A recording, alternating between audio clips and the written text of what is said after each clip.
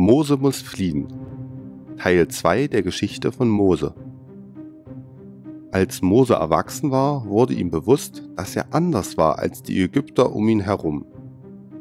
Er war ein Israelit, also ging er zu den Israeliten und sah sich an, wie sie lebten.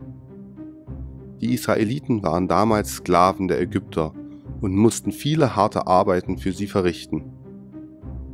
Mose beobachtete, wie ein ägyptischer Aufseher einen alten Mann schlug, weil er zu langsam arbeitete.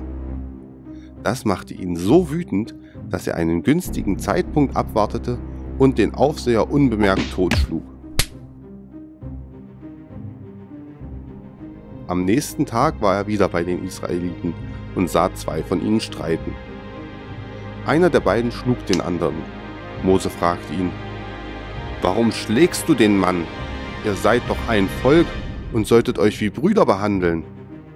Der Mann erwiderte, Wer gibt dir das Recht, über uns zu urteilen?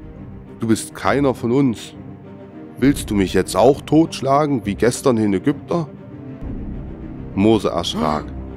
Durch diese Unterhaltung wurde ihm klar, dass der Mord an dem Aufseher nicht geheim bleiben konnte.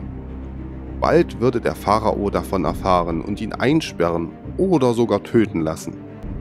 Er floh noch am selben Tag. Mose floh in ein Nachbarland Ägyptens. Dort gründete er eine Familie und lebte als einfacher Schafhirte.